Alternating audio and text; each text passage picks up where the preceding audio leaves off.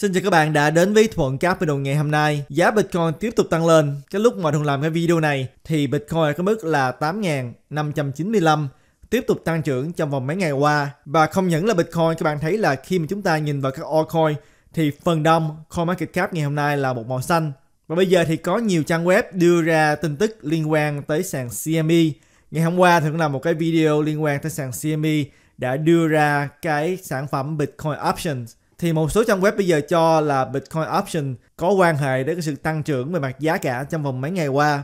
Nhưng mình thường không nghĩ đây là một cái sự liên quan mật thiết và trong video này thì nghĩ là một trong những câu hỏi mà nhiều bạn muốn biết đó chính là cái đợt tăng trưởng này, nguồn tiền tới từ đâu và Thuận có hai giả thuyết Thuận muốn chia sẻ với các bạn. Ngoài trừ điều này ra, thì chúng ta cũng cần phải nói tới một đồng mà nhiều bạn hỏi thường nhất trong thời gian gần đây, đó chính là đồng Bitcoin SV. Đồng BSV này, các bạn thấy trên màn hình ngày hôm nay đã tăng 99,02%. Thật ra, cách đây vài tiếng đồng hồ thì đồng BSV đã tăng hơn 100% thì chuyện gì đang xảy ra với đồng BSV. Nhiều bạn thì nói là bị thao túng, nhiều bạn thì nói là không phải. Thì sự thật là như thế nào? Chúng ta cũng sẽ nói tới điều này. Nhưng mà trước khi mà chúng ta đi vào thêm chi tiết thì cũng như thường lệ, tất cả chỉ vì mục đích thông tin và không được xem là lời khuyên đầu tư. Thì đầu tiên chúng ta hãy nói tới đồng Bitcoin SV. Tại sao lại tăng mạnh? Sau đó chúng ta sẽ nói tới Bitcoin và thị trường.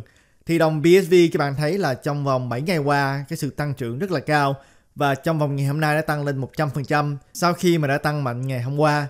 Và hiện bây giờ thì có khá nhiều tin tức được đưa ra khi mà các bạn tìm kiếm những cái tài liệu liên quan tới Bitcoin SV tại sao tăng lên thì một số trang web bây giờ nói là lý do là tại vì Craig Wright cái người mà đứng sau lưng đồng Bitcoin SV đã có chứng từ để mà nộp cho tòa án chứng minh mình là Satoshi Nakamoto.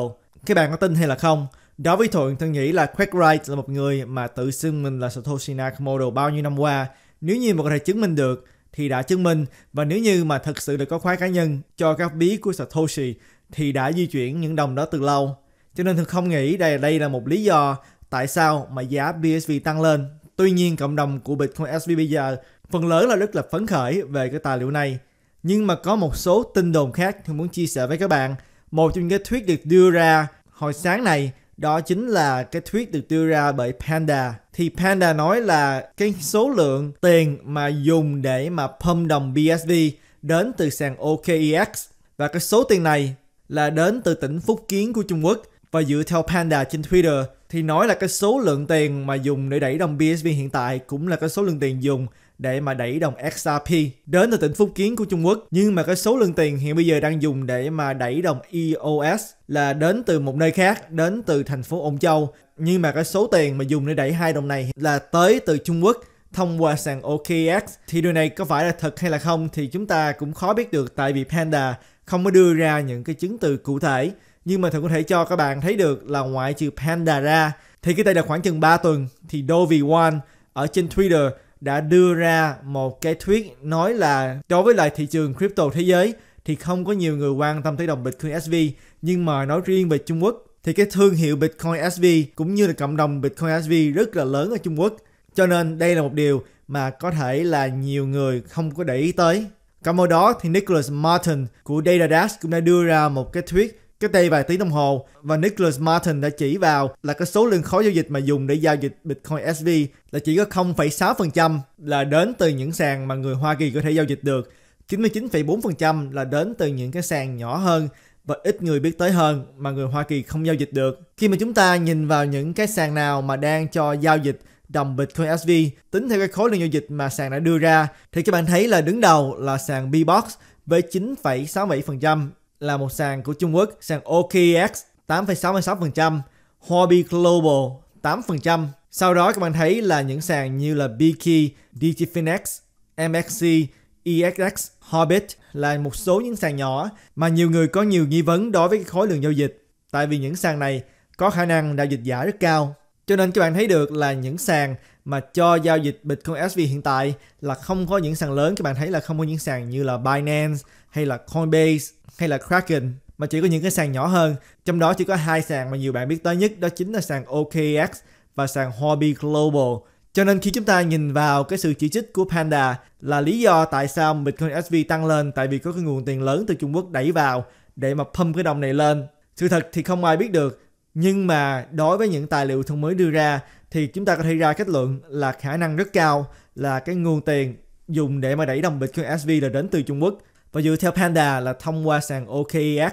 Cho nên những bạn nào mà có hứng thú giao dịch Bitcoin SV thì cần phải cẩn thận. Và bây giờ Bitcoin SV đã đứng hàng thứ tư và ngày hôm nay Bitcoin SV và Bitcoin Cash đã liên tục trao đổi vị trí với nhau. Có khi Bitcoin Cash đứng hàng thứ tư, có khi Bitcoin SV đứng hàng thứ tư và bây giờ Bitcoin SV đang chiếm vị trí thứ tư với giá một Bitcoin SV là 361 đô và trở lại với lại thị trường nói chung, thì tại sao thị trường lại tăng lên, nguồn tiền tới từ đâu? Thì thật ra chúng ta cũng không thể nào biết được chắc chắn, nhưng mà có hai giả thuyết mà thường muốn chia sẻ với các bạn.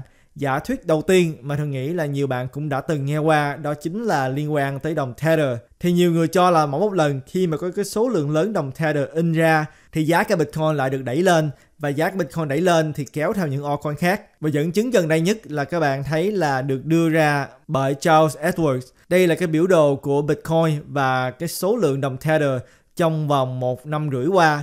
Các bạn thấy là giá Bitcoin đó chính là những cái ngọn nến màu xanh này. Và cái đường màu đỏ các bạn nhìn thấy trên màn hình, đó chính là cái số lượng đồng Tether ở trên thị trường. Và trong vòng một năm rưỡi qua thì Charles Edwards nói thấy là rất rõ ràng là mỗi một lần khi mà cái số lượng đồng Tether giảm đi, thì sau đó giá cả của Bitcoin cũng giảm theo. Đi thường làm cho màn hình lớn lên để các bạn thấy rõ ràng hơn. Như là các bạn nhìn thấy, lần này khi mà cái đường màu đỏ này đi xuống, thì một thời gian sau, giá Bitcoin cũng đi xuống theo. Và ngược lại, các bạn thấy là khi mà cái đường màu đỏ này, có nghĩa là cái số lượng đồng Tether trên thị trường được tăng lên, thì một thời gian sau đó, các bạn thấy là giá Bitcoin cũng được tăng lên. Và một dẫn chứng khác được nói tới là khi mà chúng ta nhìn vào ngày 16 tây tháng 12 năm 2019 thì lúc đó đã có một số lượng lớn đồng Tether được đưa lên trên thị trường và hai ngày sau đó thì Bitcoin đã không tiếp tục đi xuống giữ đáy là 6.430 đô và tăng lên từ cái mức này và khi mà chúng ta nhìn vào cái đồng Tether trên CoinMarketCap các bạn thấy được là trên CoinMarketCap cái đường mà màu xanh dương này đó chính là tổng vốn hóa của đồng USDT tính theo đô la thì bạn thấy được là ngày 6 tây tháng 1 mới đây thì tổng số vốn hóa của đồng USDT đã lên từ cái mức là 4,1 tỷ. Cùng một ngày đó đã lên tới 4,6 tỷ. Có nghĩa là trong một ngày đã tăng lên 500 triệu đô la. Và nhiều người nói lý do tại sao Bitcoin tăng lên là tại vì cái số lượng đồng USDT này được bơm vào thị trường. Dùng đó để mà mua Bitcoin, đẩy giá Bitcoin lên. Đó là giả thuyết đầu tiên liên quan tới tại sao thị trường lại tăng lên trong vòng mấy ngày vừa qua. Dạ, Giả thuyết thứ nhì mà tôi muốn chia sẻ với các bạn đó chính là liên quan tới cái thuyết được đưa ra bởi Gabriel Gersbach. Và những bạn nào mà cảm thấy cái tên Gabriel Gersbach này nghe có vẻ quen quen, đó chính là tại vì Gabriel Gersbach chính là giám đốc tài sản điện tử của công ty VanEck và MVIS đứng sau lưng cái Bitcoin ETF hợp tác giữa VanEck và CBOE.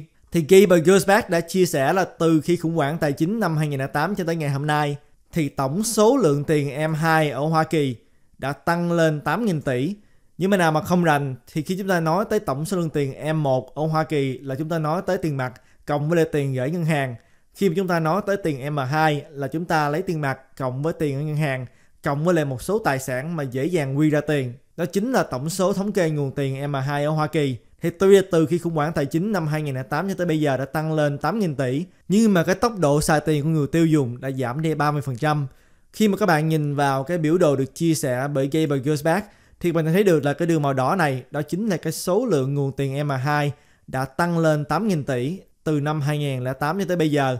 Nhưng mà cái tốc độ mà người tiêu dùng sử dụng tiền đã bị giảm xuống 30%. Thì câu hỏi là cái số lượng tiền mà đã được in ra bơm vào thị trường đã đi về đâu? Thì Thuận đã làm một cái video chia sẻ bài viết của Ray Dalio, video 464 Thế giới đã điên rồi, nhưng mà nào mà muốn xem video này thì trên màn hình sẽ có cái link. Trong video này Điều mà Gilbert Gersbach nói rất là giống như điều mà Ray Dalio đã chỉ ra trong bài viết này. Cái số lượng tiền mà được in ra phần lớn là không được sử dụng trong việc tiêu dùng hàng ngày mà cái số lượng tiền đó được dùng để mà đẩy vào thị trường chứng khoán, được dùng để mà đẩy vào thị trường bất động sản, tiếp tục đẩy giá trị của các tài sản tăng lên. Mặc dù là nhiều người kêu gọi nói Bitcoin là một vàng điện tử, nhưng mà ở thời điểm hiện tại không phải ai cũng tin Bitcoin là một vàng điện tử, mà vẫn còn có rất nhiều người nhìn vào thị trường crypto, nhìn vào Bitcoin như là một cái tài sản mà mang tính chất risk on, có nghĩa là một tài sản mà mang tính chất nguy hiểm, có lợi nhuận cao nhưng mà nguy hiểm cũng cao. Và chỉ được tận dụng khi mà thị trường có dư nguồn tiền. Và gần đây các bạn thấy là thị trường chứng khoán tiếp tục lập cái đỉnh mới. Khi mà chúng ta nói tới chỉ số của chứng khoán Dow Jones. Và hiện bây giờ thì trên thị trường tài chính có rất nhiều người rất là phấn khởi và có nhiều kỳ vọng vào thị trường tài chính tiếp tục có cái điều tăng trưởng cao hơn. Và khi mà chúng ta có một cái nguồn tiền lớn mà ai cũng muốn đầu tư, thì cái số lượng tiền này sẽ cùng nhau để mà đi truy đuổi những tài sản có thể mang lại cái lợi nhuận cao hơn và một số lượng tiền này có thể đã được đẩy vào thị trường Bitcoin. Và nếu như đây là sự thật, thì thị trường Bitcoin sẽ tiếp tục có được cái sự tiến triển tốt đẹp nếu như mà thị trường chứng khoán tiếp tục có cái sự tiến triển tốt đẹp. Ngược với lại suy nghĩ của một số người là khi mà thị trường bất ổn, thì Bitcoin sẽ tăng lên. Và Thuận cũng đã từng chia sẻ với các bạn rất nhiều lần là hiện bây giờ, nếu như các bạn hỏi Thuận là cái sự tương quan giữa thị trường Bitcoin và thị trường chứng khoán là như thế nào, thì câu trả lời của Thuận là hiện bây giờ là không biết. Tại vì từ khi mà Bitcoin ra đời cho tới bây giờ, chúng ta vẫn chưa có chứng kiến Bitcoin giá cả phản ứng như thế nào khi mà có khủng hoảng tài chính xảy ra. Và các bạn cũng đã thấy được là cách đây 10 ngày khi mà thị trường chứng khoán bất ổn thì Bitcoin tăng lên. Nhưng mà các bạn thấy là gần đây thị trường chứng khoán đạt được đỉnh mới, Bitcoin cũng tăng lên. Rất rõ ràng là cái sự tương quan giữa Bitcoin với lại thị trường chứng khoán chúng ta vẫn chưa rõ. Cho nên bây giờ có rất nhiều người tự đưa ra những suy đoán là hai thị trường này tương quan như thế nào. Đối với nào này vẫn còn rất sớm. Và đây là hai cái lý thuyết mà tôi muốn chia sẻ với các bạn. Một là liên quan tới cái sự ảnh hưởng của đồng Tether đối với giá cả của Bitcoin nói riêng và thị trường crypto nói chung. Và thứ nhì chính là đối với cái sự ảnh hưởng về việc ngân hàng dự trữ liên bang tiếp tục in tiền để mà bơm vào thị trường. Các bạn nghĩ sao về hai lý thuyết này? Các bạn hãy comment ở phía dưới. Và đây là những gì mà thùng muốn chia sẻ với các bạn trong video ngày hôm nay. Nếu như các bạn là một trader mà các bạn thích giao dịch margin, thì một sàn mà các bạn có thể tham gia đó chính là sàn NAPX. Tham gia sử dụng link của Thuận Capital ở phía dưới video này các bạn có thể điền đơn để mà được tham gia vào nhóm nhận hỗ trợ cũng như là nhận tín hiệu trade miễn phí. Trên màn hình của các bạn cũng sẽ có một cái link, đó là video thường làm về sàn NAPX và giao dịch margin có cơ hội rủi ro rất cao, chỉ dành cho những bạn nào mà đã biết trade. Những bạn nào mà thích giao dịch altcoin thì có thể tham gia sàn Binance sử dụng link của Thuần Capital phía dưới video này thì các bạn sẽ được giảm 10% phí giao dịch, như là các bạn nhìn thấy ở trên màn hình. Đăng ký theo link ở phía dưới thì sàn sẽ tự động trả về 10% phí giao dịch vào chương mục của các bạn. Nếu mà nào mà muốn tìm hiểu thêm sách liên quan tới blockchain, thì các bạn có thể tìm hiểu về quyển sách blockchain trong kỷ nguyên phi tập trung, sử dụng mã ưu đãi thuận capital các bạn sẽ được giảm 20.000 và ngoại trừ video ra thì các bạn cũng sẽ tìm thấy các bài viết của Thuận Capital ở trên thuận-capital.com và các video thì ngoại trên YouTube, các bạn cũng có thể tìm thấy video ở trên Library, một nền tảng phi tập trung. Các bạn có thể đăng ký, sử dụng link ở phía dưới video này và nếu các bạn nhận được giá trị trong video ngày hôm nay thì các bạn đừng quên nhấn cái nút like và đăng ký vào kênh để giúp kênh được tiếp tục phát triển. Và Thuận sẽ hẹn gặp lại các bạn trong video kế tiếp. Tạm biệt các bạn.